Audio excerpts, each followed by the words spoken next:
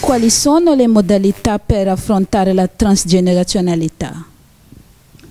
Le modalità per affrontare la transgenerazionalità e possono essere molteplici, eh, si parla da un punto di vista terapeutico, da un punto di vista no, non educativo, relazionale, ma sicuramente la cosa che posso dire è che non è un'operazione che si può fare da soli, chiusi nella propria camera. È molto importante il confronto, il rapporto, il sentire anche il punto di vista degli altri. Forse la modalità più bella potrebbe proprio essere quella di farla in gruppo, per esempio, no? Non dove ci si confronta con il punto di vista degli altri.